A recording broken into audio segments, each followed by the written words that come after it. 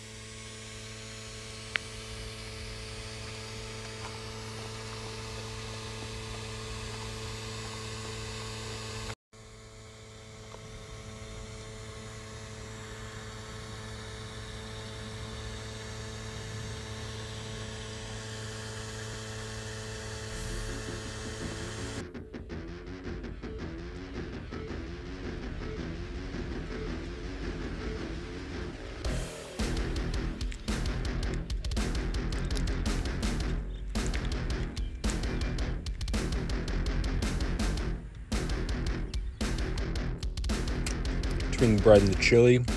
talking about three bucks.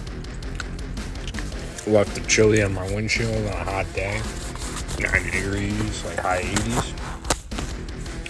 Zero, pardon basically zero prep time. Highly sustainable. Didn't waste any energy, use energy, energy to cook it. Didn't use any energy to clean or wash any dishes other than uh, to wash a spork to get the bottom that I can't get with the bread and I have chips, so use chips.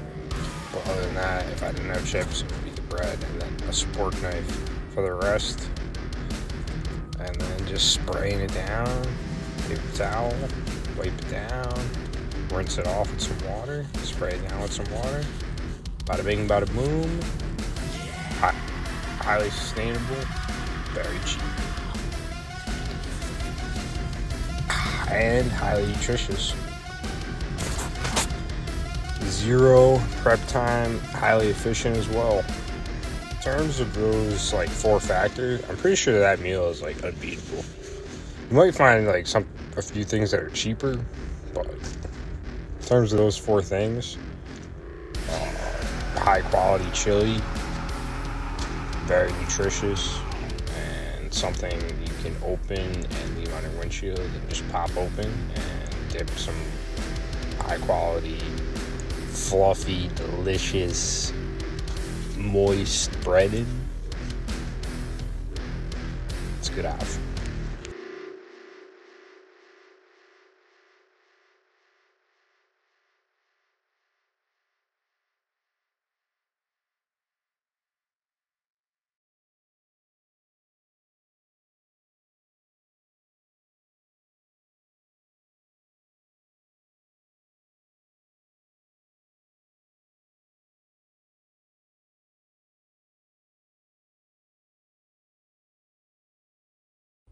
Unfortunately, my solar panel only temporarily worked. I think it was just using the juice that was in it, and then it stopped working. So I have to get a new one and just loaded up my cart and about to order that stuff and pick it up in the next week or so.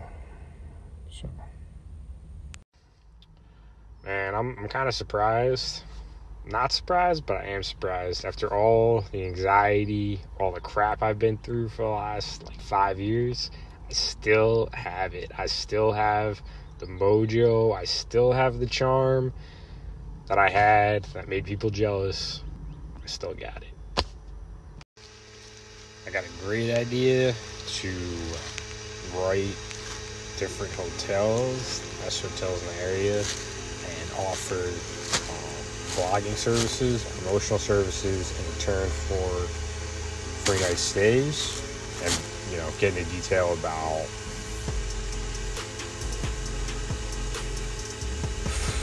what my services would provide and the benefits of those services in terms of you know making sure I document like five key features in every hotel or certain aspects of every hotel. I gotta, this is what I'm going, I'm planning right now, I'm packing, going to the library, just packed my mini lunch, some bread and cakes, and uh, pack some drinks with it. And then I'm gonna go to the library, charge. I'm gonna go to the library. I'm gonna charge my power banks, and I'm gonna plan out what I'm going to say, what my plan is going to be, but I think I have a great opportunity to combine my construction management in the commercial real estate industry where, you know, I went in a lot of buildings that were like hotels, residential properties, uh, like expensive residential slash commercial properties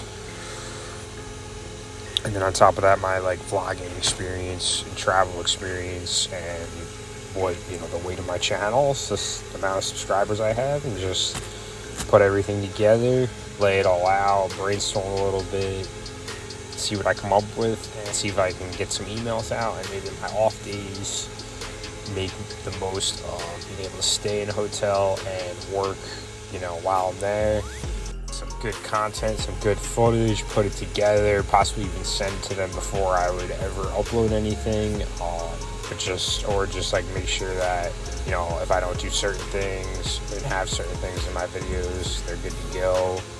But I would like to check with them most likely uh, before I upload anything. But if they could provide me free night stay and I could provide them promotional marketing in return, could be great. Uh, great business opportunity.